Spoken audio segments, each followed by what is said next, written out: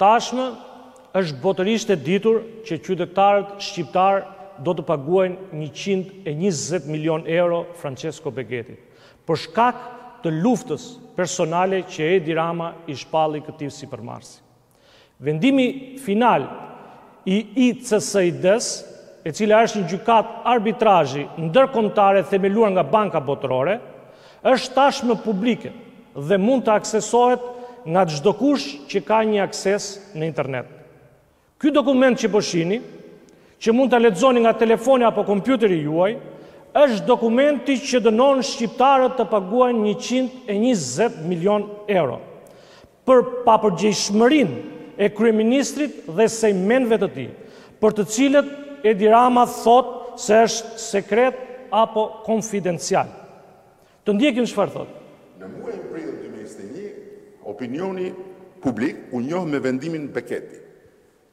dhe të tjerë kundër Shqipërisë të marrë nga Qendra për Zgjidhjen e Mosmarrëveshjeve. Tani mund të ma tregoni vendimin? Nuk ka asnjë njohje të publikut me këtë vendim nga Gjykata Përkatëse. Madje, kjo që bëni ju konsiderohet vepër penale. Edi Rama gënjen në mënyrë të përsëritur, sepse ai e di që bashkë me sejmenët e tij, nga Erion Veliaj te Engjëll Agaçi, janë përgjegjësit kryesorë të dëmit që i kanë shkaktuar çdo qytetari shqiptar, me gjobën njëqind e njëzet milionë euro e cila godet të gjithë, pa diskriminim të majtë apo të djathtë. Fermer apo infermier, inxhinier apo pensionist, të gjithë, nga më i riu tek më i moshuari, do të paguajnë për shpërdorimin që Edi Rama i bëri shtetit shqiptar për të mbyllur një media kritike ndaj tij. Prandaj kur thotë. Se tani shqiptarët do paguajnë nga xhepi një gjobë njëqind e dhjetë milionë. Unë nuk mund t'i them si e qysh, unë mund t'i them vetëm kaq, që ai marifetçiu, do marrin atë që nuk thuhet. Do marrin atë që nuk hahet. Që mbetet, po nuk hahet. Asgjë tjetër s'kanë për të marrë nga xhepi i shqiptarëve dhe nga Shqipëria.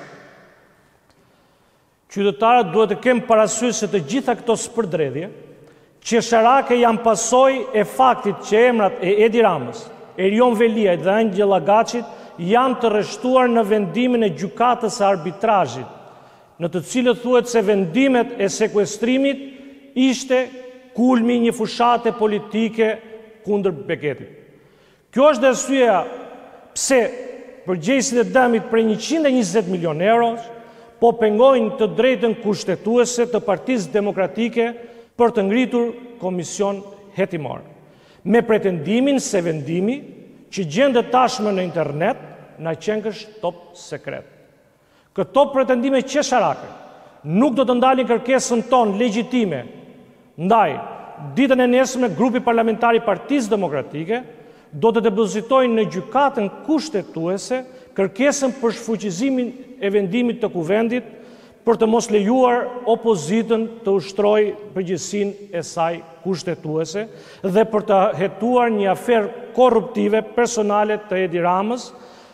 që u ka shkaktuar qytetarëve shqiptarë një dëm prej njëqind e njëzet milionë eurosh.